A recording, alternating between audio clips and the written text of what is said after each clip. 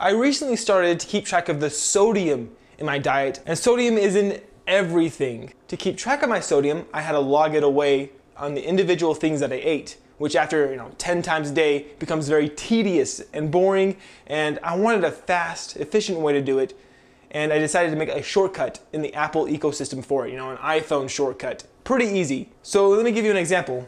I have a Greek yogurt here. This Greek yogurt has 55 milligrams of sodium. I already have my sodium log shortcut in my little widget here. Click that.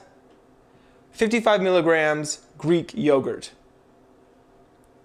And just like that, one click, I just had to talk to my phone and it entered it into my sodium log. And you can apply this to calories, shopping lists, all sorts of things. All right, so I'm gonna put this back. Let me show you exactly how I did it in my computer.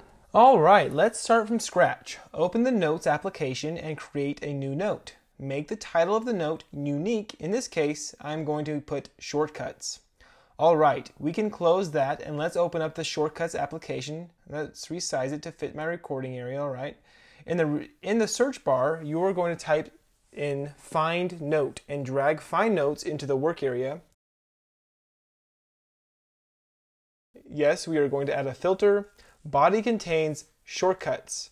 It says shortcuts in my case, but in your case, put whatever your unique note is titled. I'm going to set a limit of the number of notes to find to one. Next, we are going to search for show note.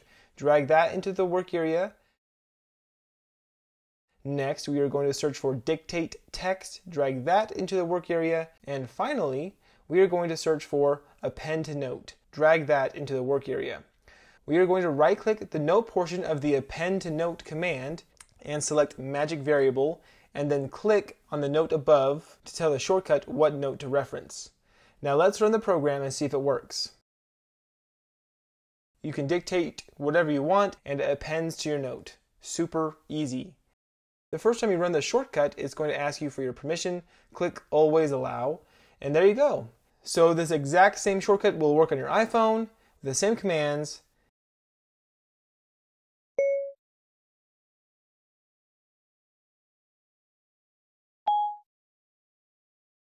There you go, guys. Hopefully this is helpful.